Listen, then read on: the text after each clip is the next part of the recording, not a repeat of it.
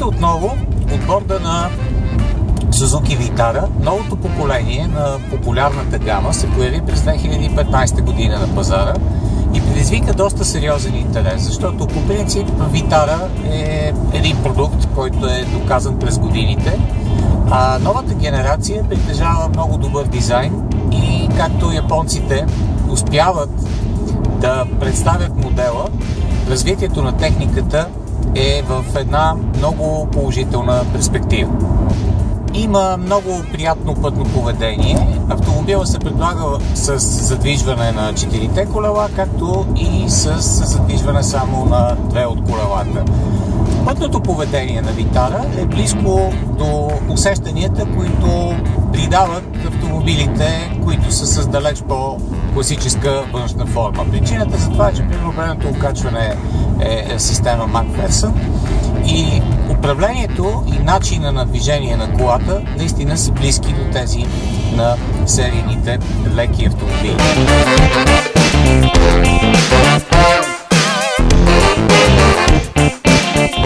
Изключително приятно впечатление прави интериора на Витара, като той комбинира елементи, които придават на спортна елегантност на автомобила, като металните въздуховоди, които са отсветени в червено, самото табло с алуминиевите апликации също има усещане за комфорт, спорт и уют едновременно. Приводите са много ясни, отново разделени с метален елемент, в който път е предена цялата информация за движението на автомобила.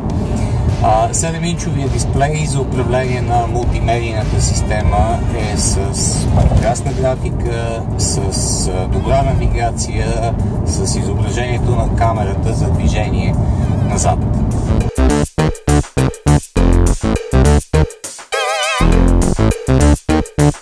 Излизаме от пътя, за да проверим начина на работа на системата OGRIP. В нейната разработка използвана огромна част от натрупаната информация, която Сузуките или иначе имат през годините и са специалисти в правенето на системи за задвижване на не особено големи автомобили. Системата има няколко режима на работа като, както мисля, че вече споменахме по-рано, при представянето на модела има и варианти само с задвижване на две от колелата на колата, но все пак Интересното тук е, че наистина, макар Витара да не е от тежките офроуд модели, тя разполага с режими за движение. Snow Sport, също така и с блокировки лук.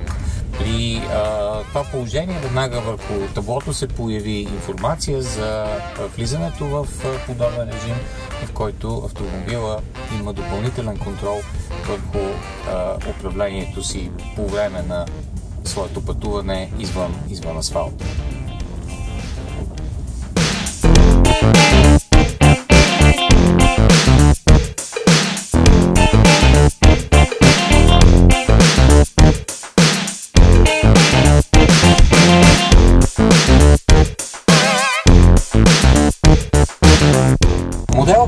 Тестваме ние с новата автоматична скорост на котия, 6 степена, с възможност за управление на предавките и чрез перата, които се намират зад волана, което е още един спортен елемент в описанието, в характеристиките на новото поколение Suzuki Vitara.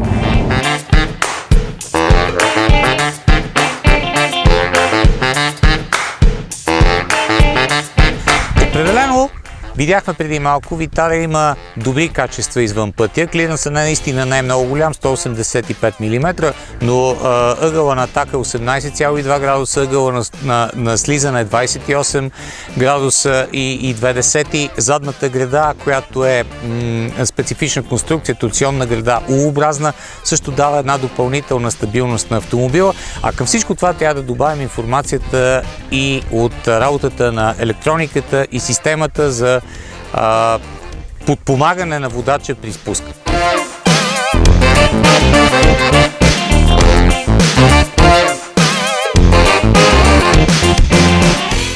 Важна информация, която трябва да споделим още с вас, свързана с новото поколение Suzuki Vitara, е тази, която е свързана с цената на автомобила.